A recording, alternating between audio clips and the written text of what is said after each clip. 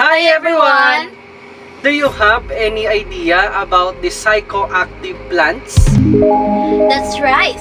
In their quest for survival, plants have evolved to produce an amazing variety of chemical compound known as secondary metabolites.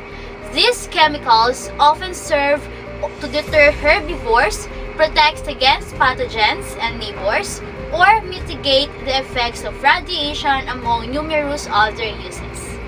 Interestingly, many of these chemicals react with human bodies in specific ways, ranging from organ failure and death to reactions that inspire life-saving pharmaceuticals. Come on, join us as we are going to discuss The psychoactive plants.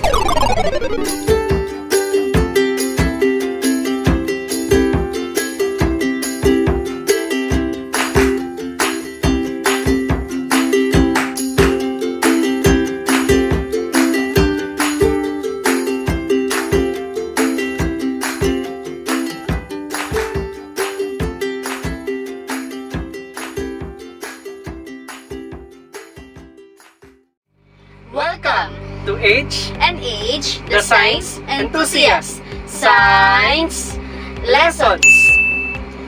For today's video, we are going to discuss the, The psychoactive psychoactive plants. So, what are you waiting for? Let's get started. A hallucinogen is any chemical substance that distorts the senses and produces hallucinations, perceptions, and experiences that depart dramatically from ordinary reality.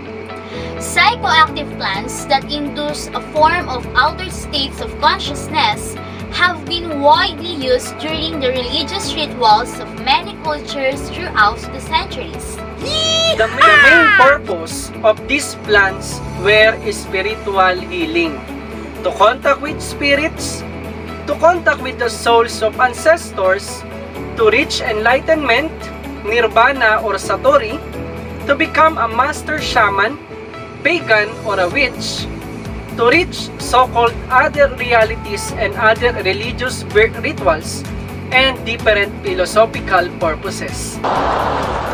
In the plant kingdom, they occur most often in the flowering plants, that is called angiosperms, and the more primitive spore-bearing fungi. Angiosperms family is especially known for having plants with psychoactive properties, which may include Solanaceae nightshade, Rubiaceae or coffee, Papaveraceae or poppy, Erythroxylaceae or coca, and Convolvulaceae or morning glory. The chemicals in psychoactive plants may change human perception profoundly. And here are the following list of plants that amazingly affect the brains and mental states of the humans who ingest them called as the psychoactive plants. First is opium poppy or Papaver somniferum. The beautiful opium poppy is native to Turkey and is a common garden plant in the United States. When the unripe seed capsules are cut, they exude a milky latex that is the source of raw opium and can be processed into morphine, codeine, and heroin.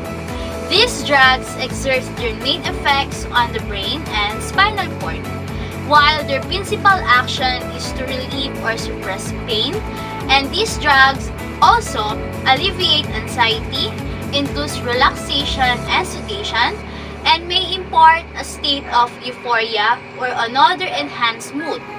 Heroin and morphine overdoses often result in death. The second one is peyote or Lophophora williamsii. Peyote is a small cactus found only in the Chihuahuan Desert of southern Texas and northern Mexico. The tops of the cactus can be dried to form mescal buttons, which are well known for their hallucinogenic effects and contain the alkaloid mescaline. Hallucinations are usually visual, less often auditory. The side effects may include nausea and vomiting, and peyote, like most other hallucinogenic drugs, is not considered to be addictive. Third is salvia or Salvia divinorum. The plant is hallucinogenic and has historically been used by shamans to achieve altered states of consciousness. The effects are intense but short-lived and include changes in mood and body sensations, visions, feelings of detachment, and altered perceptions of self. Currently, it's legal in both UK and US. The leaves can be eaten or smoked and feature an active ingredient known as salvinorin A. The fourth one is cannabis or cannabis sativa. Grown all over the world, cannabis or marijuana is probably the most widespread plant with psychoactive properties. The active ingredient, which is tetrahydrocannabinol or THC, is present in all parts of both male and female plant. But it is most concentrated in the flowering tops of the female plant. These buds are usually dried and crushed and put into pipes or form into cigarettes or joints for smoking, but can also be added to foods and beverages. Acute intoxication may occasionally induce visual hallucinations, anxiety, depression, paranoid reactions, and psychosis lasting 4 to 6 hours. Oh no! Marijuana's physical effects include reddening of the eyes, dryness of the mouth and throat, moderate increase in rapidity of the heartbeat, tightness of the chest if the drug is being smoked, drowsiness, unsteadiness, and muscular incoordination. Is betel nut or Areca catechu. Betel chewing is a habit of an estimated one-tenth of the world's population. And betel is considered to be the fourth most common psychoactive drug in the world, following nicotine, alcohol, and caffeine.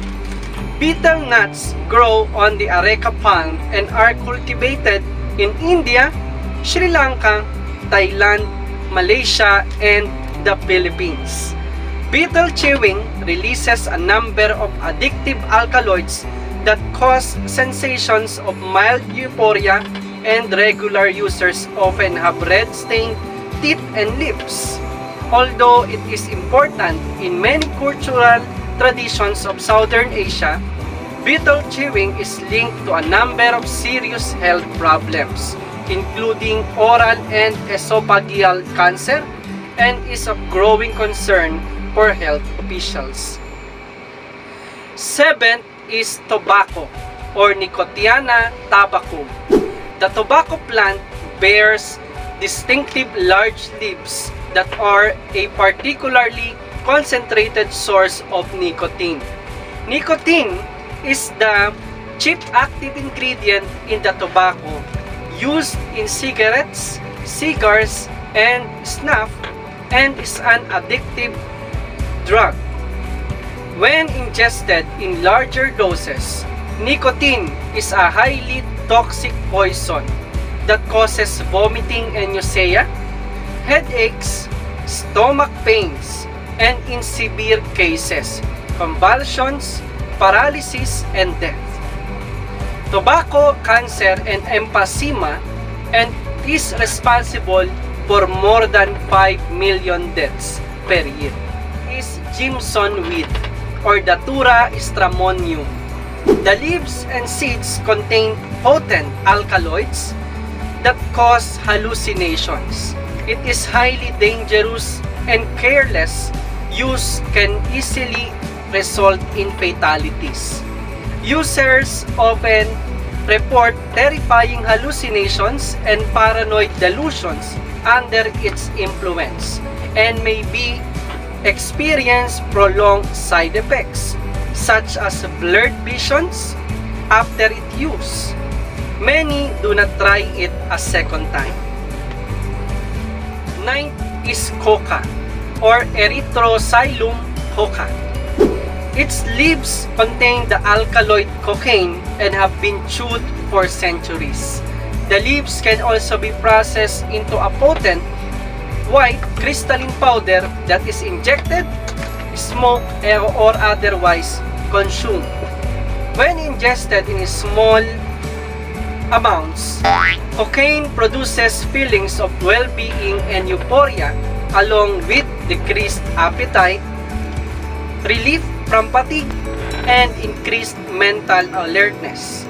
Cocaine is habit-forming and when taken in larger amounts and upon prolonged and repeated use, cocaine produces depression, anxiety, irritability, sleep problems, chronic fatigue, mental confusion, and convulsions. Cocaine became responsible for a markedly increased proportion of drug-induced deaths. And that is our science lesson for today. Please like and subscribe for more science lessons. Lessons. Bye! Bye!